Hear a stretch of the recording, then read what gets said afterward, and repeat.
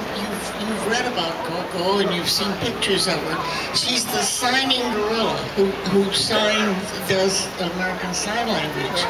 And she's this enormous girl and she is so beautiful. Well, uh, she, the lady who raised her from, a, from an infant, uh, Dr. Penny Patterson, lives with Coco up in Coco's own house up near uh, Northern California. And so I go up and see her every once in a while.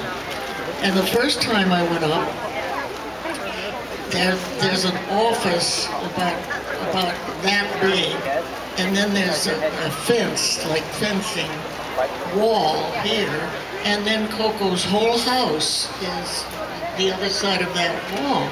Well, Dr. Patterson put a stool up against the, the, the mesh, and Coco, I sat on a stool, and my arm is up against the, the fencing, and Coco came over and sat down right here. So our arms, we just had the, the mesh between us, and our arms and shoulders were touching, and I was in hug I just thought it was wonderful. Well, pretty soon, Coco, there at the uh, over here this end of the wall, there's a, a floor-to-ceiling gate with three locks here, down low, one in the middle, and one up top. So Coco went down and, and Dr. Patterson was sitting outside in this little office area and there was a cabinet next to her. So Coco kept pointing to the top of the cabinet and Dr. Patterson said, oh, Coco wants to show you her new television set. She's so thrilled with it. So she turned the set on. No. Coco made it very clear that wasn't what she wanted, but she kept pointing to the top of the thing. And so Penny tried it again, turned it on. No. Kept pointing. Oh. Patterson said, Coco, I'm sorry, I get it now. And she picked up a bunch of keys. The minute she touched the keys, Coco pointed to this floor-to-ceiling gate, pointed at the bottom, to the middle, and to the top.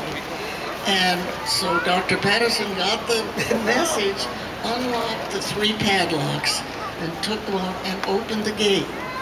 Coco came out and came over and took me by the by the wrist and took me into her her room. And back to the, the whole house was open, and uh, but she went over and sat against the wall and indicated that she wanted me to do the same. So I sat on the floor and I put my hands on her fat tummy, and we we had, we were like this, and we had the most wonderful visit, and she could actually make me understand her sign language. It was phenomenal, and she uh, well, I must have spent an hour and I think I spent an hour and 20 minutes in there with her. And you